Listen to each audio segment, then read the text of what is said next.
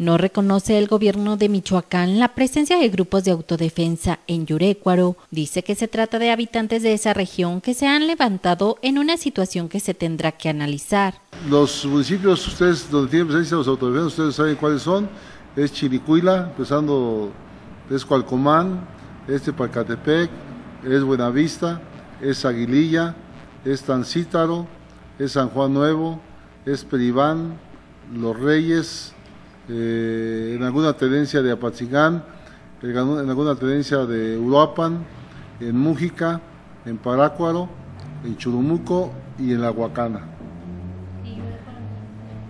Lo hay que ver qué fenómeno es exactamente, ¿no? Pues, en rueda de prensa, el secretario de Gobierno, Jesús Reina García, reconoció que ese municipio vive un clima de intranquilidad tras el surgimiento de personas armadas, ya que a pesar de que se dicen habitantes del lugar, algunos de ellos se han presentado con la cara cubierta.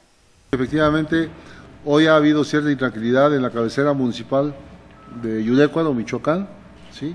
Ha habido la suspensión de clases en algunos eh, planteles, eh, sabemos también que eh, hay en ese momento todavía intranquilidad por la presencia de grupos armados, pero ya en ese momento está interviniendo la Policía Federal. El encargado de la política interna de Michoacán dijo que los enfrentamientos que se registraron ayer en Los Reyes y Villamar no afectaron la operatividad de las alcaldías, ya que en ambos municipios los alcaldes están trabajando con normalidad. Ahí está, el presidente municipal de Los Reyes ha estado hablando en contacto con él, el presidente municipal de Villamar no es de algún problema de autodefensas, fue un enfrentamiento en, una, en un tramo carretero que, que pertenece al municipio de Villamar, pero si no recuerdo mal es la carretera que va del lugar que se conoce como Jaripo a Cotija.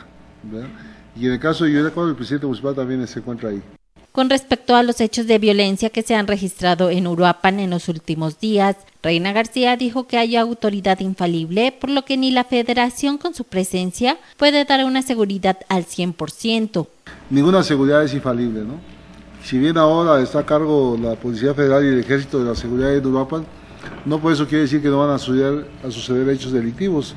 Los hechos delictivos, no hay ninguna policía en el mundo que sea infalible y que pueda dar una tranquilidad del 100%.